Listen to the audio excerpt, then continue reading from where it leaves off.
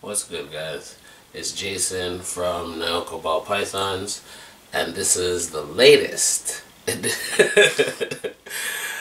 of our series of um, breeding without a, without an ultrasound, or breeding ball pythons, that is, without an ultrasound. If you haven't been watching this series, there's some really good videos, and I'm going to put one of those tabs up where you can get at the series. If you haven't been watching the series, it's turned out pretty good and it's real informative. And this is going to be the next one. And we're looking at signs that tell you that female is going to lay.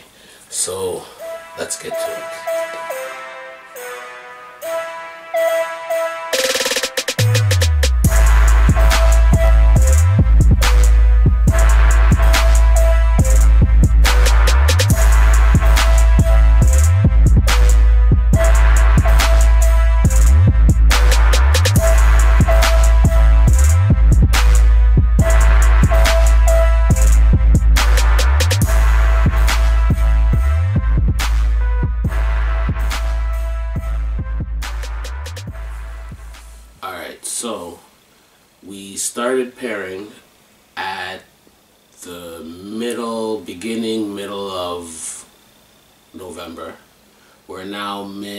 March. And we're getting to the point where we're trying to figure out if the female is getting close to ovulating, if the female is ovulated, if um, the female isn't going to go at all, and if you should stop pairing. We're at that time where we're trying to make those decisions as to what's going to happen in the season. So in this video, um, what I want to look at are some of the signs that tell me that the female is probably going to lay or things are looking good or some of the signs that indicate to me that that female probably isn't going to go this year or at least I should be paying closer attention to her so I can make that decision. I do want to say at this point, I am continuing to feed or offer food to all my animals. Some of the females don't want to eat.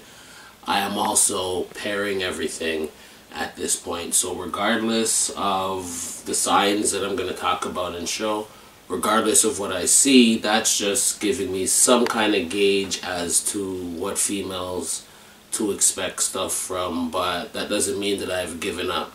So if I don't see the signs that I'm looking for, I'm still going to continue to offer food and I'm still going to continue to pair that female. We don't give up till about July, till about June or July, depending on the signs and behaviors of the animal. So what I've done is I've put together a few clips of me in the throes of looking at my animals and again the camera's rolling and it's just my thoughts and what I'm looking for and what I'm thinking. So let's have a look. Okay guys, so we are looking at a super pastel yellow belly and as you can clearly see oh I'm not zooming all the way she is there's the rest of her tub cooling. Not the classic bull wrapping, but she is as far away from the heat as she can get. Definitely cooling. A great sign um, that things are going well. Don't always expect the classic bull wrap. People love posting pictures of their animals bull wrapping. Um, they will do that, but what you're looking for is just cooling behaviors. Here is a Killer Blast Het Desert Ghost. Um, and again, showing the cooling behavior. And one thing I do want to mention is that this cooling behavior is very dramatic. And it's not always going to look as dramatic as this oops as this then pushed up um, all the way to the cool end of the tub. You guys can tell that it's me doing the camera work and not Shay um, but essentially what you are looking for is, or what you want to see as your breeding season progresses, is your female coming way over to the cool end of the tub trying to cool off or trying to cool her body. The thinking is that with the hormonal changes, the female gets hot and they want to cool. So you will or should be seeing something like this. Okay, here's another female. This behavior I would consider you can well first off you can see where she's laying in the tub this type of behavior because i know this female and i know how this female normally behaves where it normally situates itself in the tub um, this i would also consider cooling behavior because this female has moved away from her heat and is trying to cool off remember guys they know what temperatures they want to be at, what temperatures they need to be at. So they, different females, are going to show different types of cooling behaviors and move to different points in the tub. So you have to be, during this time, you really have to be observant as to what's going on and what's happening with your females.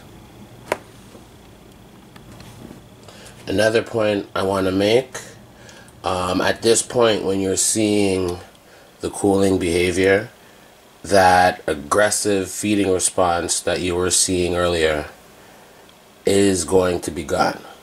Um, the feeding response is going to be a lot less aggressive, um, and at some point, they're going to go right off of feed. So expect that and feed accordingly.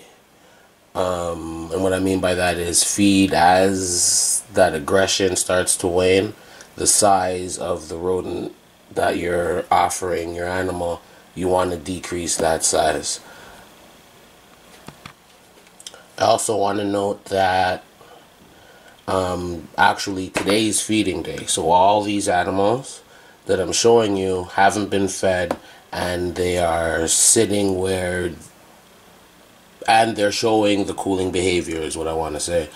Um, you got to be careful when looking for that cooling behavior because after a feed, they are going to seek the heat to help digest the rat.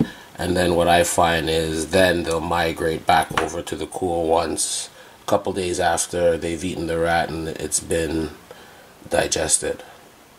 So just keep that in mind. But again, the most important thing is to be observing your animals. Alright, now here's an example of an animal clearly on her heat. Um, she was cooling. She's um, she has migrated back to her heat. Now she wants to be warm and she's completely off food. So expect that once they they will have a cooling period. After that cooling period, they are to migrate back to the heat and seek the heat. And this girl is completely off food and has seek the heat and I expect her to ovulate in the next four weeks, six weeks, but we'll see what's going to happen. The other tool that I use to help me to determine how close a female is to ovulation is palpation or palpating. And what that is, is literally just to manually feel the size of the follicles.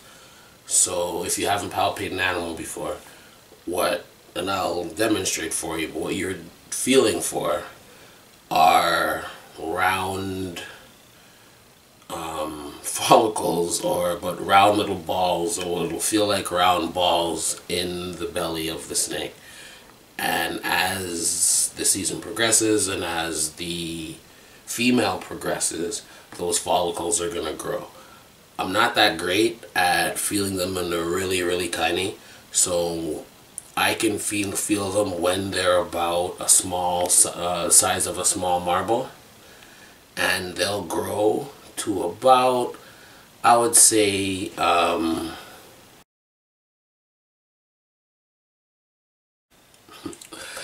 and they'll grow to about the size of and me and my daughter who's behind the camera right now had a little back and forth discussion just now about the size but it'll grow larger than the large larger size marbles about the size of a small plum. But the point is you will feel them grow as the season progresses and obviously once they get to a certain size the female is going to ovulate um, and then you know you're getting she's to lay something eggs or slugs. So let's have a look at palpation and what I do. Alright so as I talked about earlier in the video this is an animal off food. Um, at one point she was cooling and spending a lot of time on this the cool side of her tub. Now she's moved back to the heat. So in terms of behaviors, she's done everything I want to see that tells me that she's progressed nicely. And we will palpate her. So the process is quite easy. What I like to do is obviously pull the female out. I'll close the tub part part way so that her desire will be to crawl to the back of the tub She's upside down, right herself. Put her in, and as you see, her desire is to crawl back. What you want to do is just, I use my thumb and my index finger, thumb on top, index finger on the bottom, and I'm putting some pressure, and with my index finger, I'm feeling for those follicles. Let me pull her out a bit and get a better, and you should feel them from halfway there we go one two boom three four and you should feel them from halfway down to about three quarters of the way down her body. And this girl had some really nice large size follicles so things are looking real good for her. Let's have a look at another animal. So here we have a really nice and dirty you can see her head is dirty white snakes uh, super fire female. Um, we're going to do the same process and palpate her. So I'm going to close close the tub and she wants that flight um, wants to take off. It's very important to when you're palpating to let the animal move as opposed to move your hand down the body of the animal because what I find is when they move the they loosen up the rest of their body if you're just trying to run your hands down the animal, she's going to tense up and there might be follicles there and you, are not going to feel them. So it's really is one of those things of with experience it gets easier and easier to do. So again we're going to do the same thing, thumb and index finger, let her crawl through my fingers and with this girl at this point I don't think I'm feeling anything. That doesn't mean I'm going to give up. In both cases, I'm going to continue to offer food. I'm going to continue to put that male in once a month. We are now, as I believe I said earlier in the video, we're now in mid-March. So there's still two, two and a half months before I have to I make a decision of giving up on a female for the season.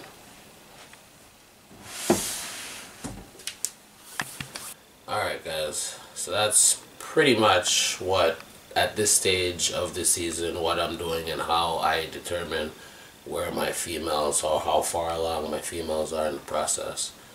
Can't stress enough, it's way too early to be giving up on females that aren't showing signs of development way too early. You're still offering food weekly.